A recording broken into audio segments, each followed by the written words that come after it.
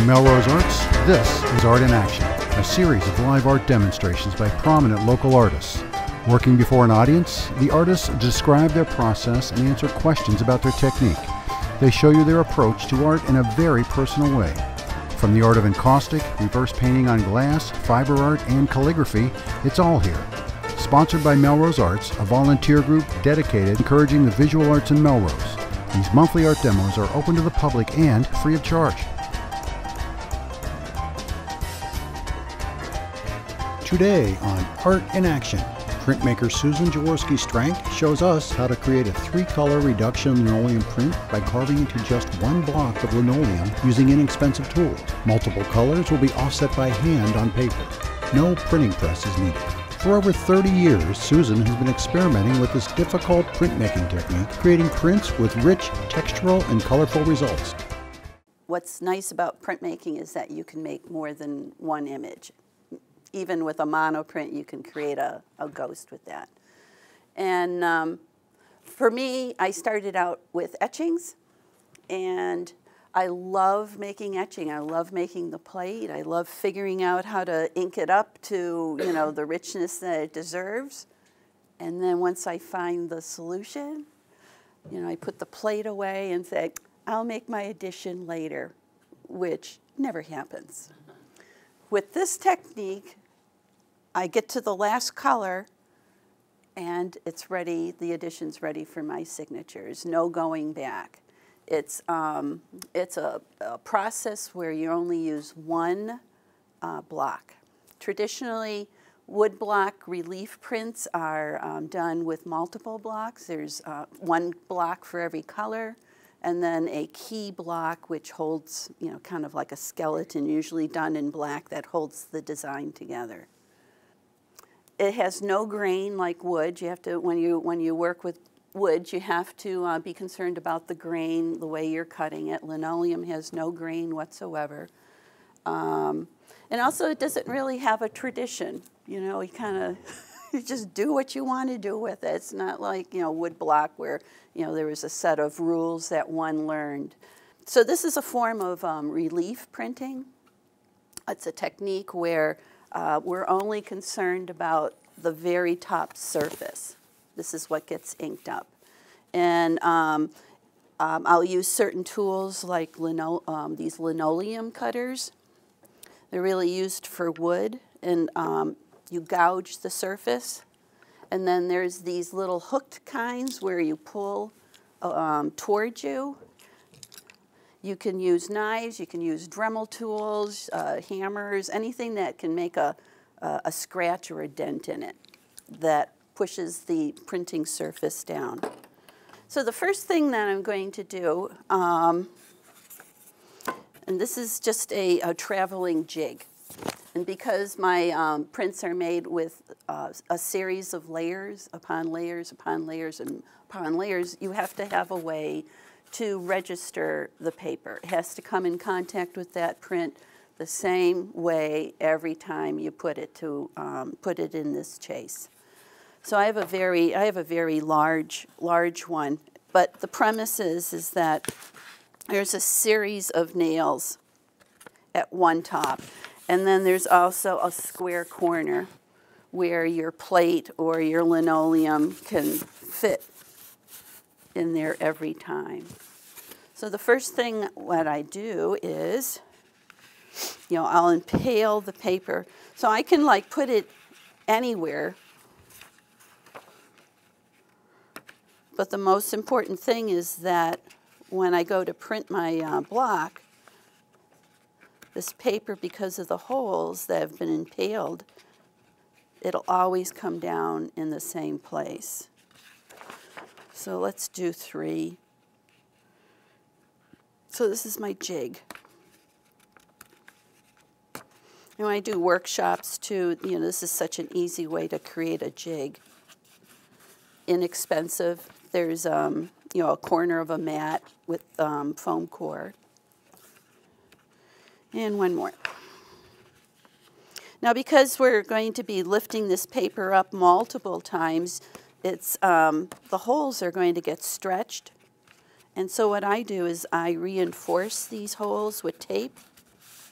I don't use a press, although I do have one for the etchings. I don't use a press because I, I find that if, you know, when you look at these prints, there's, um, I like the previous color coming up from below. And if I used a press, it would just smush it down and it would be completely opaque. So there might be an area when I'm inking up the linoleum, there might be an area where I want a softer touch. So I'll just, you know, use a softer touch and then use a lot of elbow grease in the rest of, or rest of the area.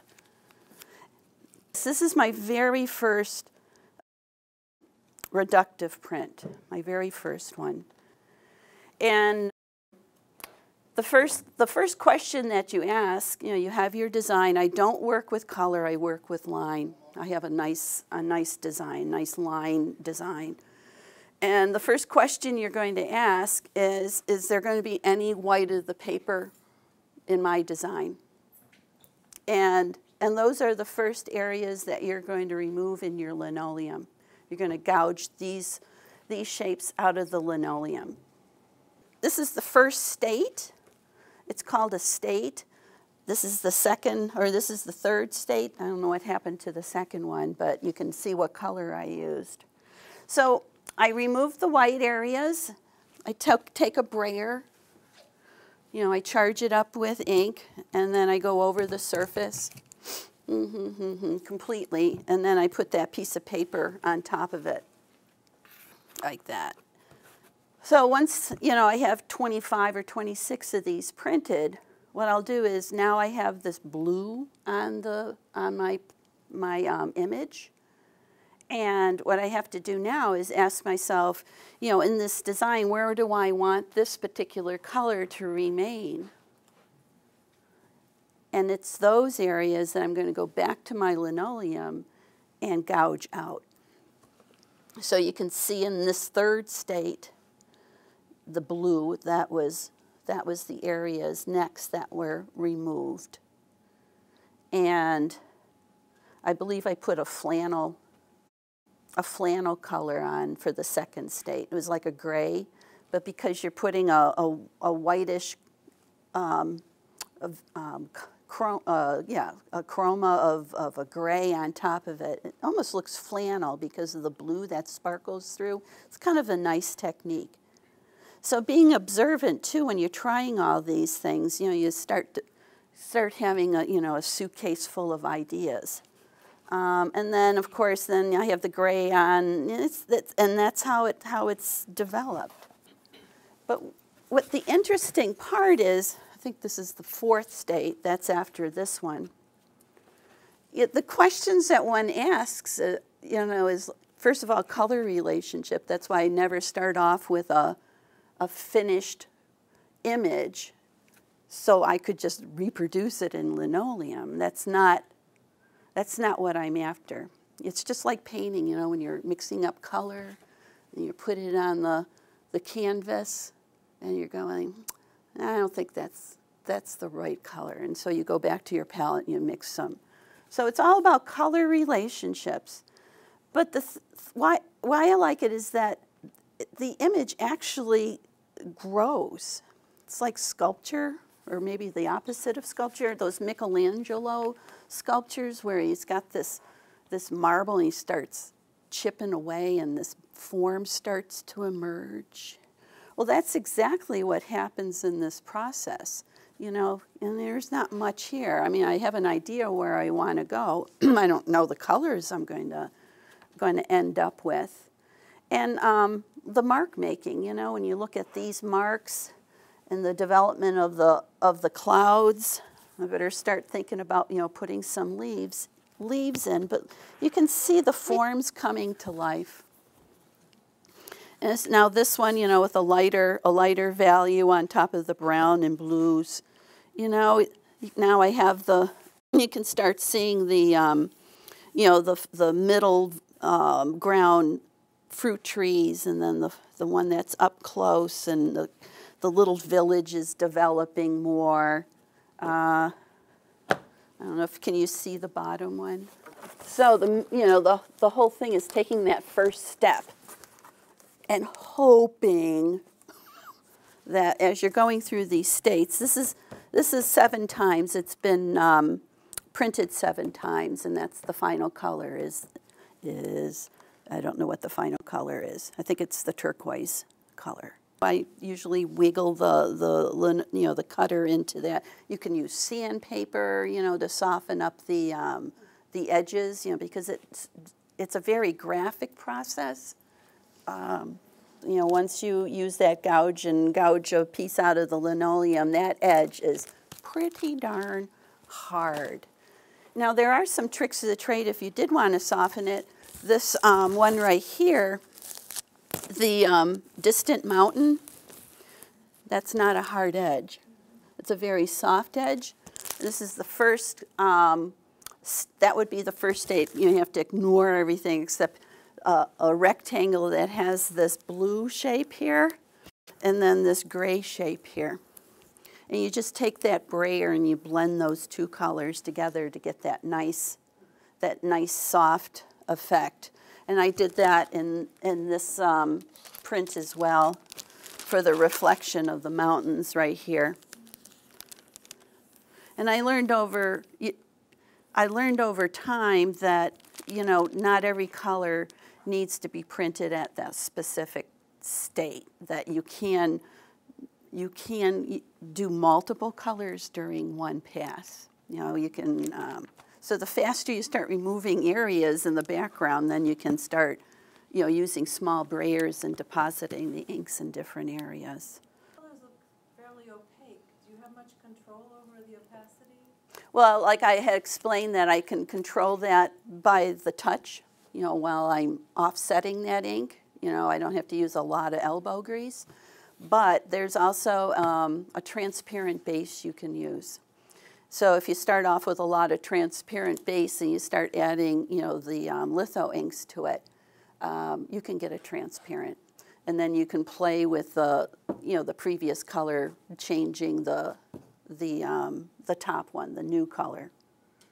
I'm trying something different today. This is contact paper on mat board. And the contact paper is that soft spongy uh, material. So I figured, you know, it should be easy enough to put a mark in it. So this is going to be my printing surface. I'm not going to draw anything. You know, I'm just going to wing it. What, what, am I, what am I going to do? Why am I doing this? Why am I removing um, areas? If I didn't want any of the white of the paper to show through, I would just go ahead and ink it and print it, and I wouldn't have any white of the paper. Anyways, this will give me an idea how, how this is going to work. I'm hoping that it's going to release from the, from the cardboard.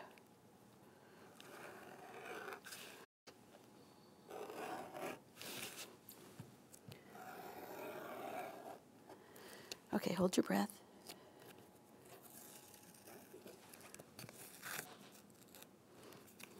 This is so much more interesting than me gouging away.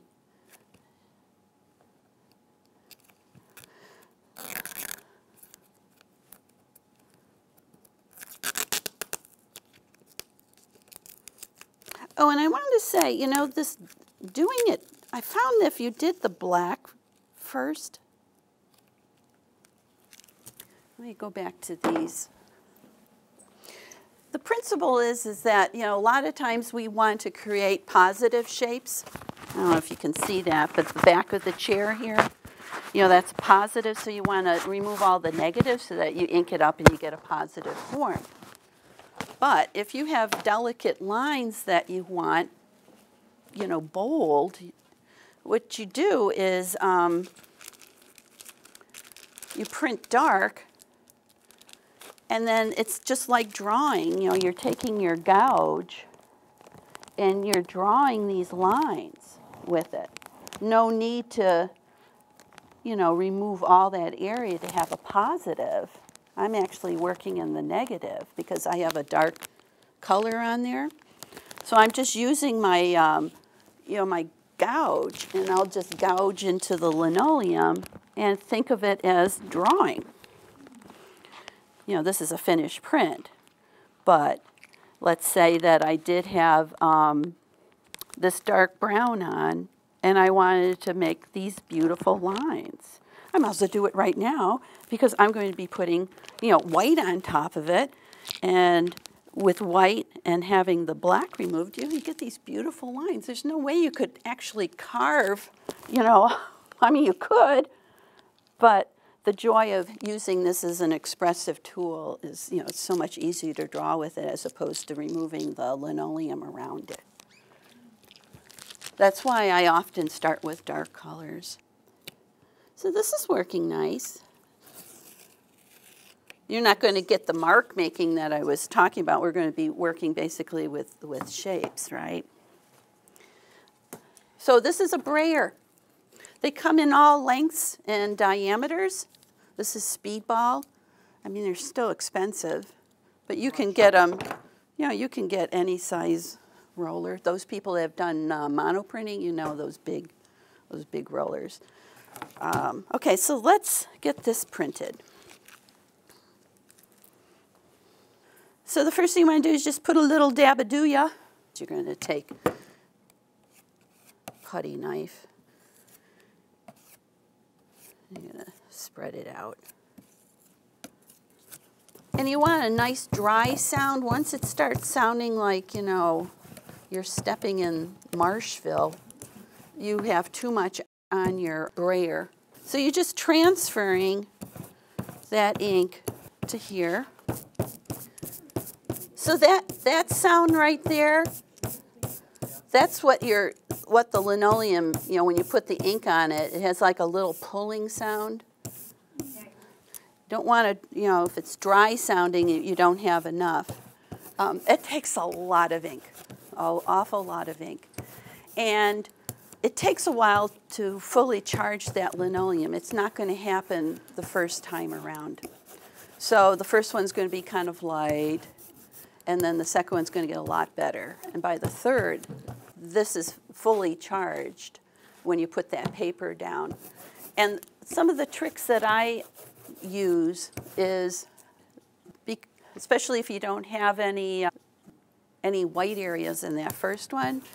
Once you print it and there's some light areas, well, even though there is white, what you can do is then you can, um, not a fully charged brayer, because then it would just get, then it would be too much. So you, you know, you could take your brayer and put it on a piece of paper and go over that to get it completely opaque. Uh, the next one is not a problem. It's always this first one. If you want it opaque, that's the way to do it. I found that um, if it's if it's it's light along the edge, then what you do is you take scrap paper, take scrap paper, you lay it along that edge, and you have your brayer that's charged. Go ahead and, and do that. Remove the layer and it's opaque. So there's your mirror image, why it's important to um, reverse your image.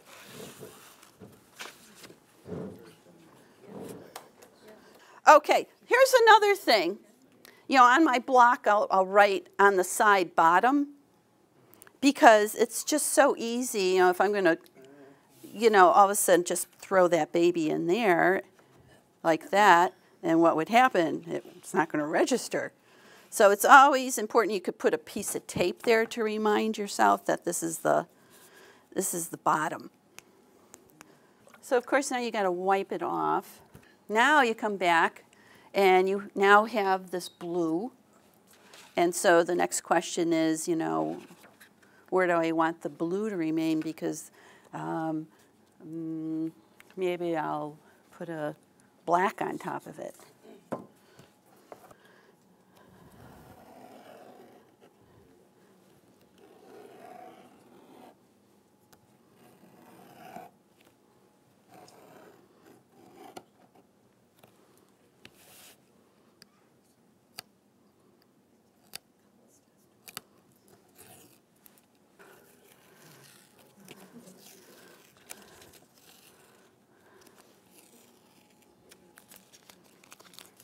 So I just removed um, a shape. I'm going to add a little, I'm not going with white because we got white paper.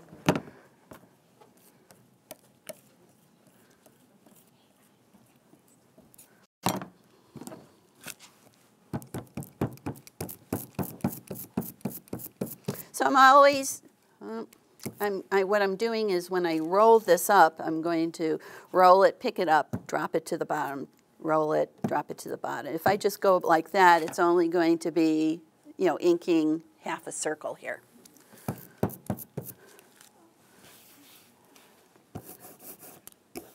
This, um, you could, there's so many different kinds of papers that, you know, traditionally people like to use oriental paper, but because I, you know, I have so many layers, sometimes up to 12 layers, I need a good um, tough paper.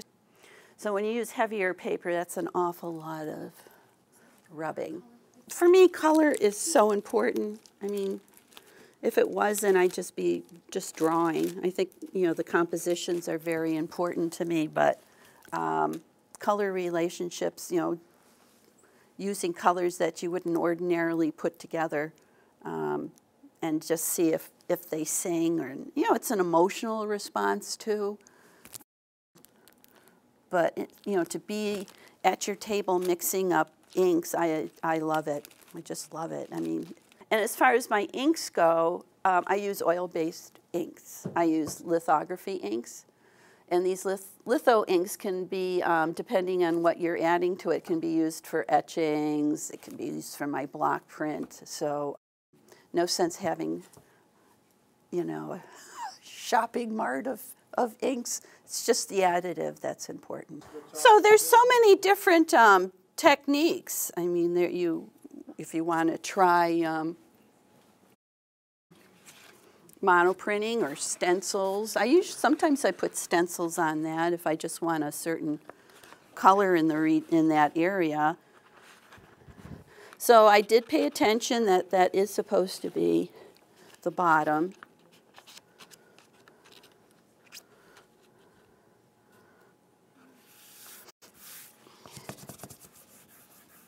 You could use your hand.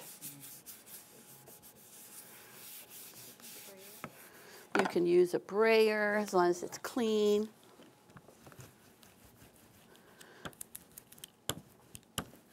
And I don't have to soak my paper. There's, there's certain printmaking um, techniques that you have to have, you know, pre-soak your paper. Like etchings, has, that's, paper has to be soft to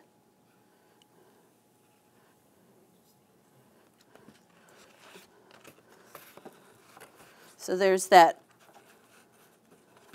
blue shape behind the white shapes. So now we'll go with for another color. Okay, let's get a um, another color going here. Um, as far as shapes go, you know what's going to happen. I don't know if you've seen the progression, but that first removal sits on the top plane, and then the blues in the back. And if I put some something else, but I could also, you know, use this space and see what happens in the, you know, in the in that space um, if it sits forward. This process was um, was started by Picasso. He's the one that came up with this crazy way of, of working.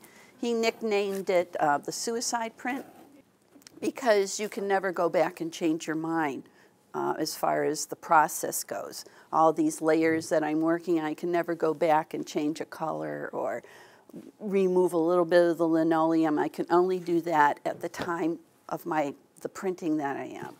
And usually it's a, a reductive process. And if you look at this, I'm a, I work in linoleum and if you get down to the last color, there's very little left of the linoleum that's printable. So you can never go back. That's why it's called a suicide print. New color. This is going to be the final color. It's a, it's a process. So how long do you think it takes you from start to finish on one piece? You know, they're all so different. You know, you, you know, you can take up to three months to, to complete it. Feel that it's finished. Yeah, and there's there was one print where I just kept working and working and working. And when I finally got to the last color, I thought I just I hated it. It was like this is just too, you know, detailed and busy. And so I put it away. And the next thing you know, you know, I looked at it. And it you know it turned out really really nice. And you know too, you you don't want to rush the process in between these states, because like I said, you once you commit, you know you just you know so you got to be really certain what that what what you want next, and color wise, and so it's not a hurry up, definitely not a hurry up process at all.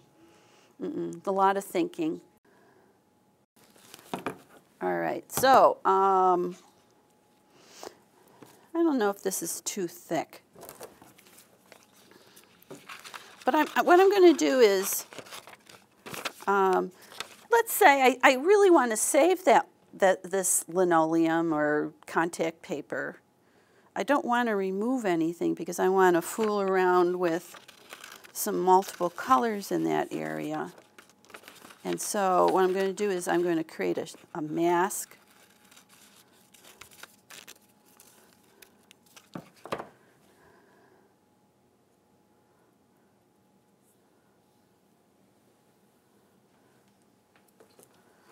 Where's the bottom? Oh, there it is.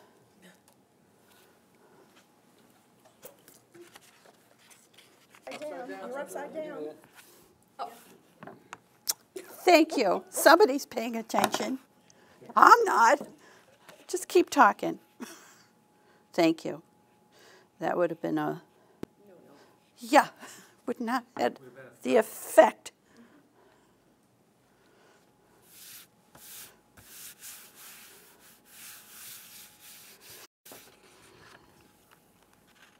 So there's a nice light touch. So if you wanted to, you could maybe in an area, let's say you really wanted it opaque.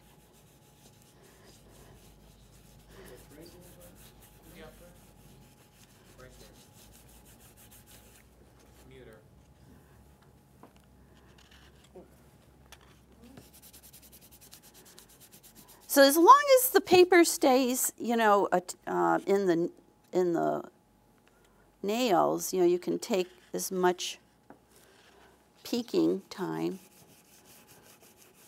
What do you enjoy more, the, the design aspect or the printing uh, process? Look at that moon shape. That's kind of turned out kind of cool. Why did it do that? Oh, I know what happened. The, the blue pulled away onto the onto the mask. That's kind of nice, huh? And they do happen. Yep, they do happen. So you put that in your repertoire.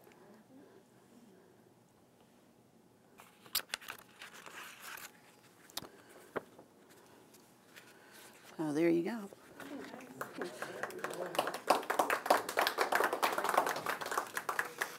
Susan Jaworski-Stranc has demonstrated the reductive printmaking process for creating colorful relief prints. This method utilizes a single linoleum block for all the colors of a multicolor print instead of the traditional approach of using one block for each color. After each successive printing of a color, the surface of the block is reduced while at the same time the print surface is built up with multi-layered colors. Once the last color is printed, all that is needed is the artist's signature to complete the edition. Be sure to check Susan's website at appleciderpress.net for further examples of her fine work and to learn of upcoming shows and classes. Visit melrosearts.com for information about Melrose Arts, upcoming events, and future Art in Action demonstrations. Melrose Arts, dedicated to encouraging the visual arts in Melrose.